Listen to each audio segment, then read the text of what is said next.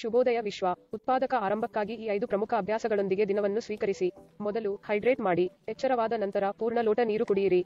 ಇದು ನಿಮ್ಮ ಚಯಾಪಚಯವನ್ನು ಕಿಕ್ಸ್ಟಾರ್ಟ್ ಮಾಡುತ್ತದೆ, ನಿಮ್ಮ ಮೆದುಳನ್ನು ಉರಿಯುತ್ತದೆ ಮತ್ತು ಮುಂದಿನ ದಿನಕ್ಕೆ ನಿಮ್ಮ ದೇಹವನ್ನು ಇಂಧನಗೊಳಿಸುತ್ತದೆ.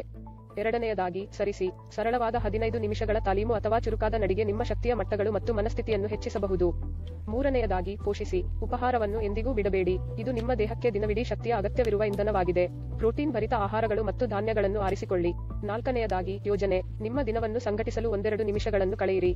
ಇದು ಉತ್ಪಾದಕತೆಯನ್ನು ಹೆಚ್ಚಿಸುತ್ತದೆ ಮತ್ತು ಒತ್ತಡವನ್ನು ಕಡಿಮೆ ಮಾಡುತ್ತದೆ. ಕೊನೆಯದಾಗಿ, ಧ್ಯಾನ ಮಾಡಿ. ಐದು ನಿಮಿಷಗಳ ಮೌನದಿಂದ ನಿಮ್ಮ ದಿನವನ್ನು ಪ್ರಾರಂಭಿಸಿ. ಇದು ನಿಮ್ಮ ಮನಸ್ಸನ್ನು ತೆರವುಗೊಳಿಸುತ್ತದೆ ಮತ್ತು ದಿನಕ್ಕೆ ಧನಾತ್ಮಕ ಟೋನ್ ಅನ್ನು ಹೊಂದಿಸುತ್ತದೆ. ನೆನಪಿಡಿ, ಸ್ಥಿರತೆ ಮುಖ್ಯವಾಗಿದೆ. ಈ ಅಭ್ಯಾಸಗಳನ್ನು ನಿಮ್ಮ ದಿನಚರಿಯ ಭಾಗವಾಗಿಸಿ ಮತ್ತು ನಿಮ್ಮ ಬೆಳಗಿನ ಬದಲಾವಣೆಯನ್ನು ವೀಕ್ಷಿಸಿ. ಶುಭೋದಯ ವಿಶ್ವ. ಇದನ್ನು ಉತ್ತಮ ದಿನವನ್ನಾಗಿ ಮಾಡೋಣ.